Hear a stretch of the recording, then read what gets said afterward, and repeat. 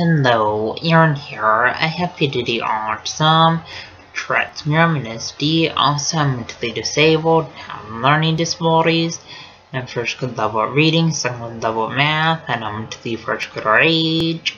Also because medication that I take for my mental disabilities, I have a rapid heartbeat, but I take medications for my rapid heartbeat.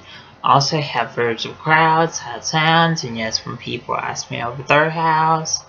I don't know how to respond in that situation.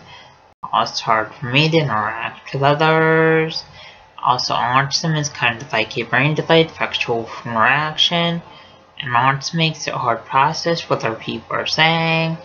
Also, autism makes it hard to process other people hugging kissing, and autism makes it hard to process other people holding hands.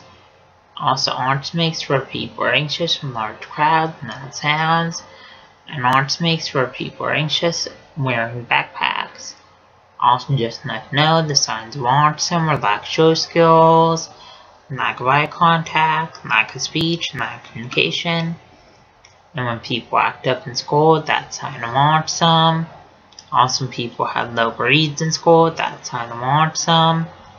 Also people stim in school, that's sign of autism. Also stimming is kind of like hand flapping hand motion, hand movement, hand fidgeting, and people with autism, stim in school classrooms, and stim walking out of school classrooms. Subscribe, read, and comment.